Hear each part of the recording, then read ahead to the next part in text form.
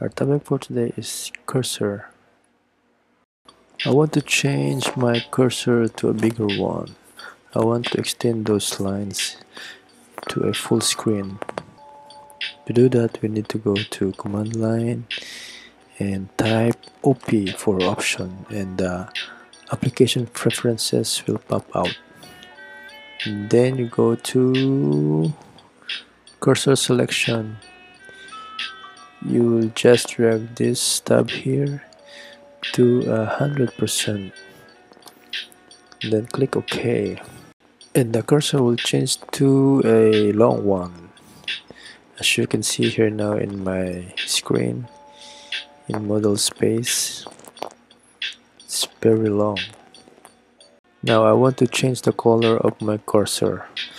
You can change it here by choosing the color you want. For me I prefer this color. Oh maybe this one this one. And then hit OK. And there you have it. You can change the color any color you want.